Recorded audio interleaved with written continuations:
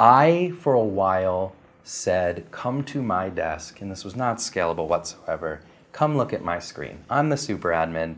I will let you see what I see. I will let you play around with it, try to break the system, try to get through to the uh, ways that we can secretly find out and trace and cross core, you know, correlate data to find out who you are.